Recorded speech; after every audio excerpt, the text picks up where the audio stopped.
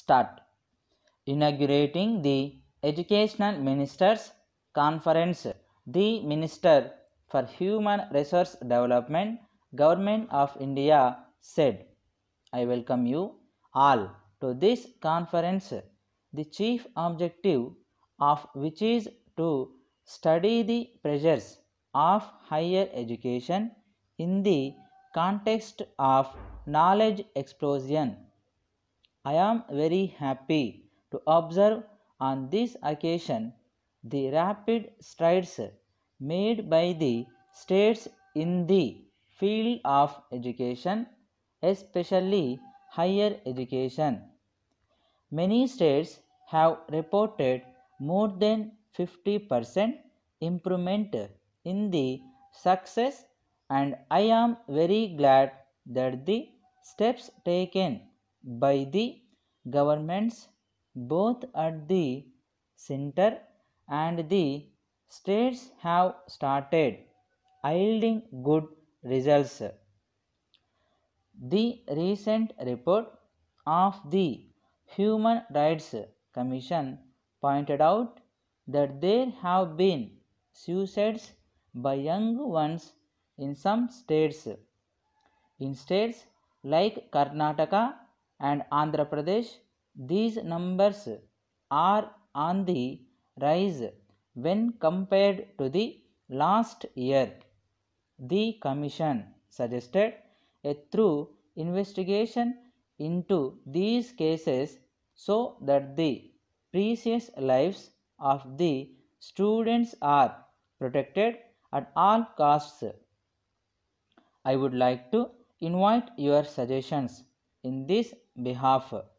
According to the analysts, all these are due to the fact that the students are unable to bear the pressure of their studies not only from the principals of the educational institutions but also by the parents. The educational institutions, in their quest for projecting them as good at imparting education, try to thrust on pupils the entire syllabus. In fact, most of the institutions have made it their principle to complete the syllabus at least three or four months ahead of the examinations.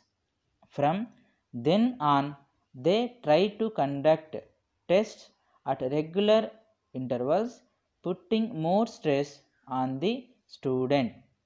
It does not allow him any time to refresh himself. Further, the institutions create an unhealthy competition amongst the students by dividing them into two batches of excellent and poor. Some of the students are humiliated by this division and slowly and steadily lose interest in their studies. The students who are considered as intelligent to suffer as a result of this. They may become complacent and ultimately fail in the end examinations.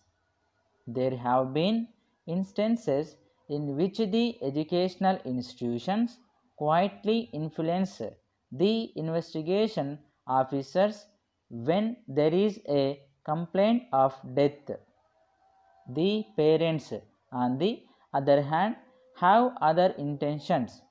They like their words are respected by the society and the respect they feel comes from the higher marks achieved by them.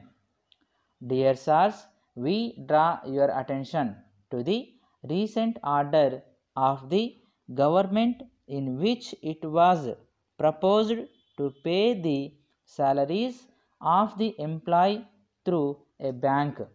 For this, all the employee needs to do is to open an account in any one of the banks listed in the order and inform the drawing officer about the account. The officer prepares the bills in the normal course and submits the same to the treasury. The treasury bank will credit the amount of the employees in their respective accounts on the first of every month. While this being the procedure laid down by the government, the banks are now competing with each other in providing better services to their customers and thus attract them to open the accounts in their bank. In this connection, we intended to present the services of our bank to your personnel and we request you to kindly arrange a meeting on Monday next. Yours faithfully.